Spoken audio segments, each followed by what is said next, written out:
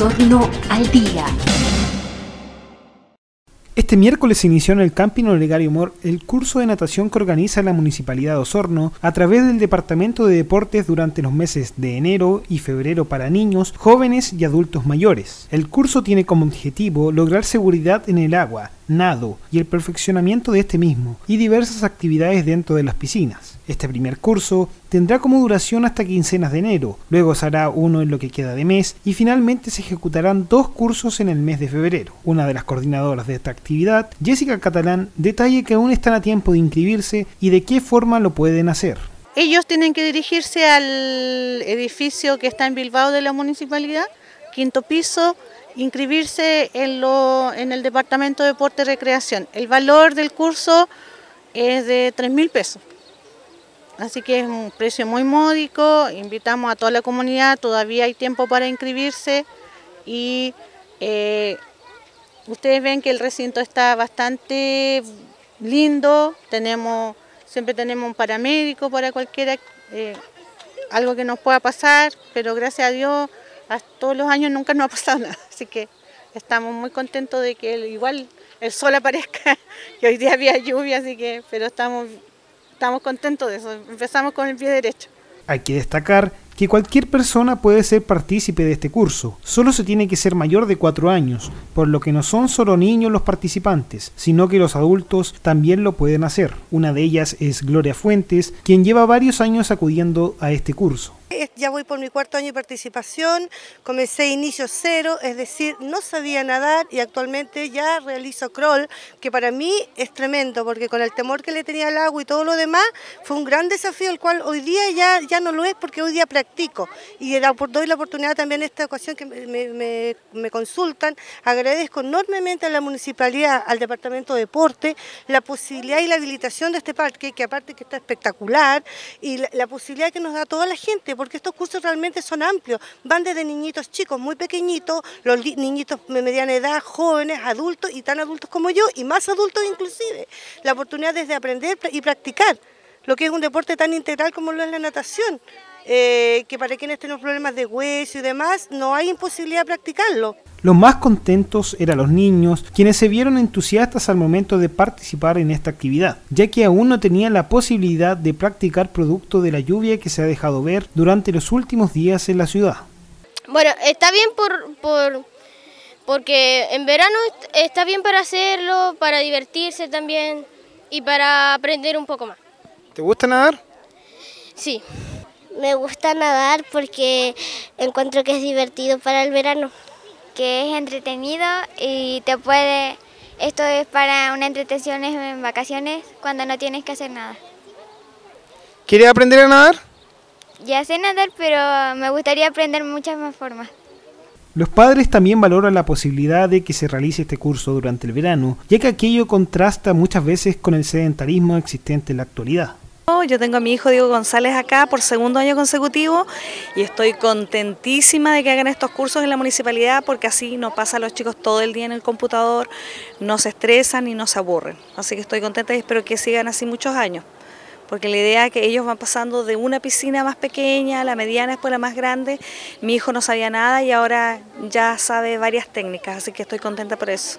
Tengas en cuenta que esta actividad no solamente sirve como un momento recreacional y de entretención, sino que también para obtener conciencia y conocimiento sobre la importancia de saber nociones básicas de seguridad en el agua para así evitar accidentes lamentables.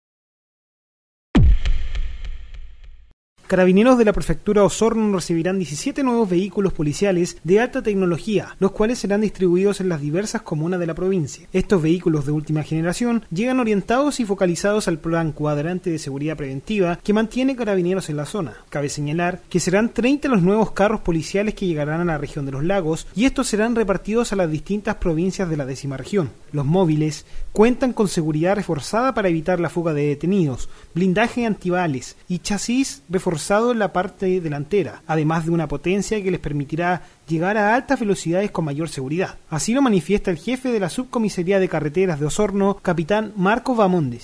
Sí, bueno, un vehículo que tiene un alto rendimiento, eh, un motor muy eficiente, si bien probablemente se ve que puede ser un consumo eh, elevado, pero son motores bastante eficientes, los cuales permiten tener eh, una mayor aceleración en un momento determinado, sin perjuicio de ello, la función principal son las medidas de seguridad, ya sea hacia el personal de carabinero que realiza los servicios, como también al resto de los usuarios y también al traslado de imputados, ya que mantienen todas las medidas de seguridad pertinentes a fin de evitar algún tipo de fuga o evasión de los mismos desde el interior de los vehículos que están eh, siendo implementados eh, durante el presente periodo acá en la provincia de Osorno y en la región definitiva.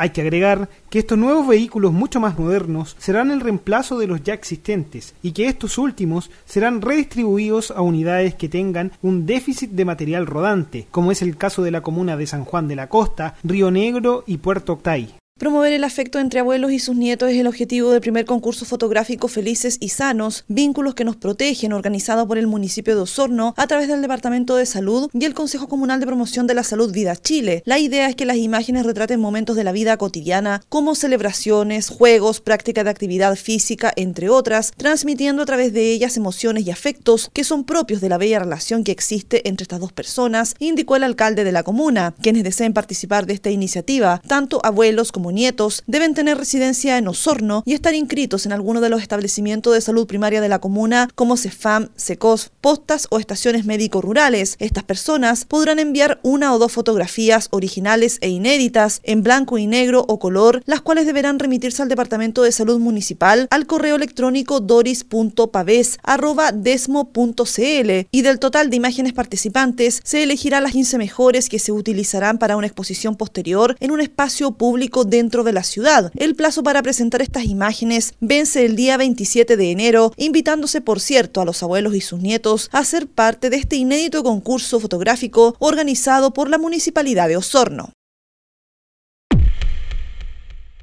Más de 300 músicos provenientes de seis países de América y Europa participarán de la cuadragésima novena versión de las Semanas Musicales de Frutillar, que se llevarán a cabo entre el 25 de enero hasta el 5 de febrero. Serán 14 conciertos de extensión que se presentarán en ciudades tales como Valdivia, La Unión, Río Bueno, Osorno, Puerto Octay, Yanquihue, Puerto Varas, Puerto Montt, Cochamó y otras ciudades emplazadas entre las regiones de los ríos y los lagos. Además, se han programado 10 conciertos del mediodía, conciertos matutinos y conciertos nocturnos, según lo señaló la nueva presidenta de la Corporación Semanas Musicales de Frutillar, Harriet Halles. Bueno, eh, como es tradicional, nosotros hacemos la inauguración del evento el 27 de enero y la clausura es el 5 de febrero. Sin embargo, este año eh, vamos a poder empezar antes con los conciertos de extensión que empezarán el día 21 de enero, una semana antes. Y por esto vamos a tener cinco conciertos antes de la inauguración, eh, en los cuales la Banda Sinfónica de la Fuerza Aérea y su agrupación, el Big Band, van a estar visitando primero Río Bueno y después bajan a Puerto Octay, van a estar en Yanquihue, en Futillar Alto en Cochamó. Además, como es tradicional, en el Teatro del Lago de Frutillar se llevarán a cabo 10 conciertos del mediodía y 10 conciertos nocturnos, con la asistencia de la Banda Sinfónica de la Fuerza Aérea de Chile, la Orquesta Sinfónica Nacional de Chile y la Orquesta Sinfónica Juvenil Nacional de Chile. Dentro del Teatro del Lago de Frutillar, como es todos los años, tenemos 10 conciertos de mediodía de agrupaciones y solistas y tenemos 10 conciertos vespertinos con las grandes agrupaciones, eh, nuestros eh, acompañantes desde hace tantos años, la Orquesta Sinfónica Nacional de Chile con tres conciertos, la Banda Sinfónica de la Fuerza Aérea con dos conciertos, la Orquesta Sinfónica Nacional Juvenil de Chile con dos conciertos más, son siete conciertos eh, sinfónicos, más el Día del Jazz. Las Semanas Musicales de Frutillar es uno de los eventos musicales y culturales más importantes del continente y cada año reúne en torno a la música a miles de personas en el Teatro del Lago, pero también en diferentes recintos donde son presentados los conciertos de extensión. El flujo de pasajeros por el paso fronterizo Cardenal Antonio Zamoré, que une la provincia de Osorno con Argentina, aumentó en más de 260 mil personas el año 2016, lo que significó un incremento cercano al 23,7% en comparación al año 2015. Fueron así más de 1.355.000 personas que circularon por el segundo complejo fronterizo más importante de Chile, luego de los Libertadores en la zona central. Al respecto, Marco Almonacid, encargado del complejo aduanero local confirmó que en los últimos años cerca del 50% de los pasajeros que circulan por Zamoré son argentinos, lo que ha traído buenas cifras para el turismo regional. Normalmente, y hasta el 2014, los flujos que teníamos eran mayormente nacionales. Y el 2015 se, se rompió esa, esa relación que existía en los flujos y a partir del 2015 se confirma el 2016 el mayor flujo que tenemos justamente es de turistas argentino y pareciera ser que esta situación se va a mantener eh, por un tiempo, al menos en la proyección, digamos, que podríamos tener para el, para el 2017. Cifras que superaron incluso las expectativas de la administración del paso en Puyehue y de las autoridades provinciales, que destacaron el importante tránsito en gran parte gracias a los visitantes trasandinos que visitaron la provincia. La Seremi de Salud de la región de los lagos decretó una restricción para el uso recreacional en las playas de Vallamansa, Maicolpue y Pucatrihue, en la comuna de San Juan de la Costa, tras comprobarse la presencia de diversas especies del tipo fragata portuguesa. La medida tiene por objetivo proteger la salud de la población de esta especie marina, que en contacto térmico accidental con los tentáculos puede generar serios daños en la salud humana, ya sea con ejemplares vivos o muertos. De acuerdo al informe emitido por la institución de salud, tras de personas en la costa pacífico de Osorno, un equipo de la institución de salud acudió para comprobar en terreno la presencia de unas 17 especies en la playa Pucatrihue, sector Las Dunas, mientras que en Maicolpue, sector Río Sur y Central, se comprobó la presencia de más de 45 especies en total, al igual que en el sector de Bahía Mansa. Estamos en estos minutos en redacción de la resolución que restringe el baño en playas y además eh, restringe la actividad recreativa. Esta especie tiene muchos tentáculos y puede ser bastante largo, ¿ya? y basta un centímetro de este tejido, incluso de organismos muertos, para provocar una grave reacción alérgica. La, la sensación es de quemazón intensa, enrojecimiento y puede llegar incluso a situaciones de paro cardíaco. Por lo tanto, la precaución es muy importante.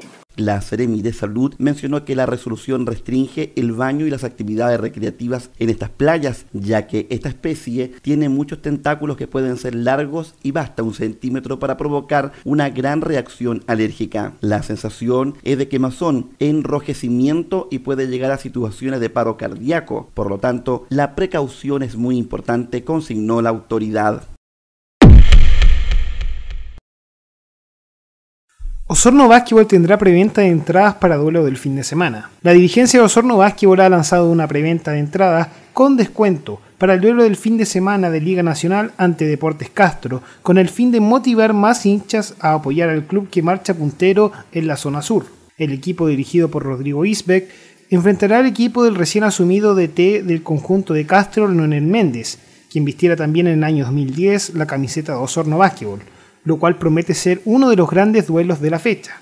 La preventa de entradas estará disponible en la tienda Armario de Calle Ramírez con pasaje Vázquez y los valores serán los siguientes: adultos 3.000 pesos, estudiantes 2.000 y niños 1.000 pesos. En tanto, los valores el día del partido serán adultos 4.000, estudiantes 2.500 y niños 1.000 pesos. El equipo sornino busca seguir manteniendo el primer lugar en la zona sur ante un duro rival como el equipo de Castro, donde el apoyo del público local será fundamental.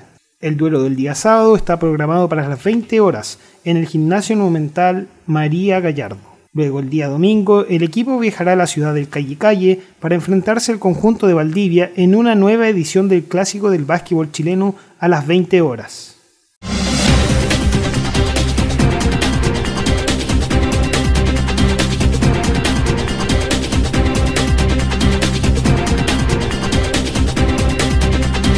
Osorno al día.